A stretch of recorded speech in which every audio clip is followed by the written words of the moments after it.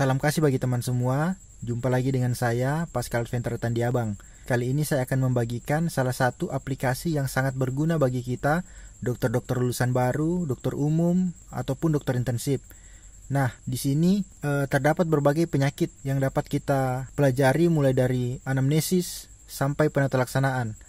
Dia juga menyajikan eh, topik-topiknya secara terstruktur di bagian medical topics ini. Kemudian dia menyediakan juga video kemudian ada kalkulator klinis dan ini resources ini adalah sumber-sumbernya. Kemudian penyakit-penyakit yang kita dapat dapat kita simpan di menu favorit. Nah, di sini juga terdapat menu pencarian. Misalnya kita ingin mencari uh, kasus mengenai miastenia gravis. Ah, ada muncul di sini. Maka kita sisa klik. Akan muncul miastenia gravis penulisnya, dia berasal dari mana, dan kapan revisi terakhir dilakukan. Di sini dibahas secara menyeluruh, kemudian e, antibodi abnormalnya, kemudian juga disediakan e, bentuk yang jarang, kemudian ada tanda dan gejala, tersedia juga diagnosis,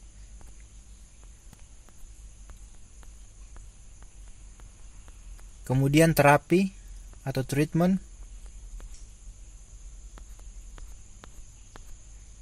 Dan ini adalah poin-poin pentingnya.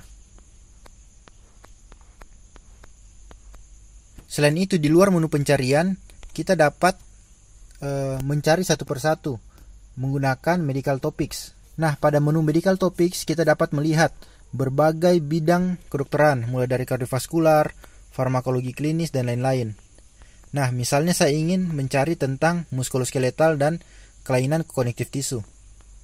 Misalnya saya belajar mengenai kelainan pada tangan. Nah, penyakit yang sering saja, seperti carpal tunnel syndrome. Seperti biasa, disajikan bahwa carpal tunnel syndrome ini ditulis oleh Dr. David R. Steinberg, seorang dokter pada Universitas Pennsylvania. Eh, kemudian ditampilkan juga kapan revisi terakhirnya, dan disajikan secara menyeluruh mulai dari definisi, tanda gejala, diagnosis. Nah, pada diagnosis ini juga ditampilkan e, mengenai kalkulator klinis. Jadi ada e, scoring cara menghitung apakah seseorang e, menderita carpal tunnel syndrome atau tidak. Nah, treatment yang ditampilkan di sini e, sangat beragam mulai dari edukasi, pemberian obat hingga penata laksanaan bedah. Dosis obat juga ditampilkan. Kemudian tampilan cara melakukan splint juga disajikan. Kemudian yang pada menu paling terakhir ada key point atau eh, hal-hal uh, yang penting.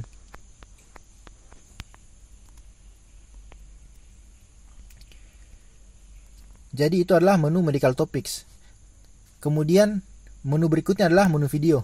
Jadi pada menu video ini kita dapat uh, mencari berbagai video-video yang ada. Misalnya, kita mau belajar tentang muskuloskeletal kembali. Nah, di sini menunya itu harusnya sudah di-download. Jadi di download itu mungkin hanya sekitar 5 detik, kita sudah dapat menonton dari awal hingga habis. E, video rata-rata berdurasi 2 sampai 10 menit. Misalnya sekarang, cara melakukan artrosentesis pada sendi lutut. Maka akan tampil videonya seperti berikut.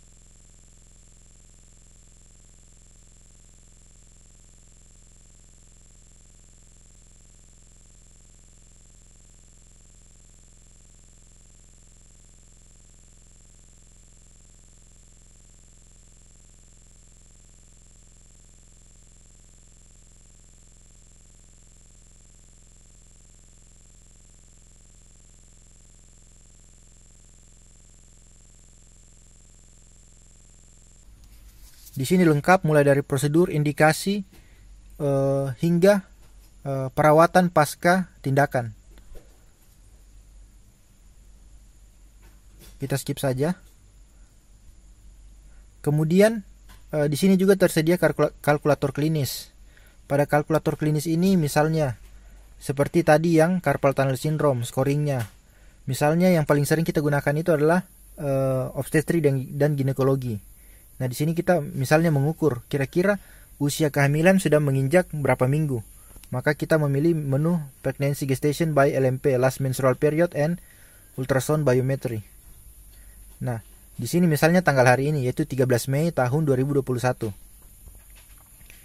Kemudian sisa kita mengisi hari pertama haid terakhirnya atau last menstrual period. Misalnya dia pada bulan Desember. Kemudian tanggalnya tanggal 31 tahun 2020.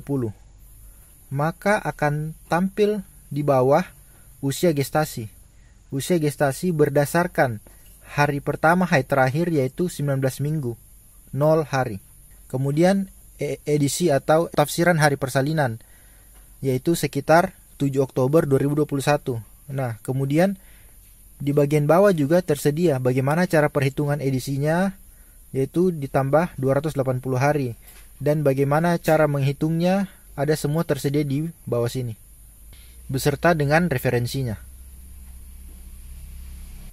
Selain untuk menghitung usia kehamilan, di sini juga sering kita gunakan untuk uh, menghitung creatinine clearance. Nah, misalnya kita menggunakan creatinine clearance. Nah, di sini kita dapat uh, melakukan input data-datanya dan hasilnya akan tampak di sini. Kita juga sering menggunakan seperti misalnya untuk kasus-kasus pediatri, seperti cara menghitung Apgar score. Sisa kita masukkan nilainya setelah kita mengukur, kemudian akan tampil hasilnya di bawah. Setelah tampil, dia juga menyajikan hasil normal bahwa 7 sampai 10 adalah normal dan 0 sampai 6 adalah distress. Begitu juga di bagian referensi lengkap.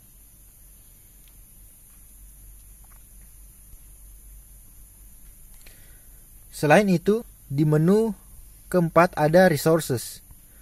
Pada menu resources ini adalah ada hasil lab normal,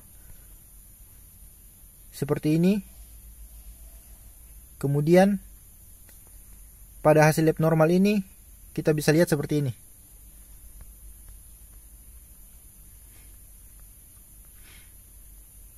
Kemudian misalnya hasil e, lab normal untuk urin. Maka akan tampil seperti ini. Dia juga menyediakan dalam bentuk tabel. Jadi kita klik tabelnya akan muncul tabel seperti ini. Misalnya uh, klorid. Di sini spesimen yang digunakan, kemudian ada uh, satuan konvensional dan SI unit. Tapi di sini dia tampilannya kecil karena kita menggunakan tampilan landscape. Apabila kita menggunakan tampilan portrait, dia akan sedikit lebih nyaman. Seperti ini.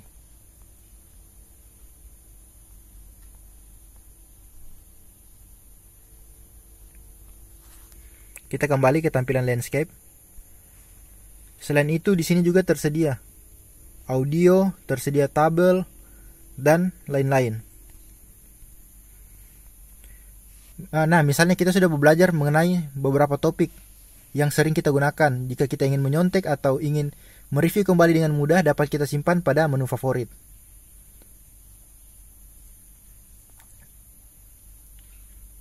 Sekian dulu informasi dari saya. Terima kasih telah menonton.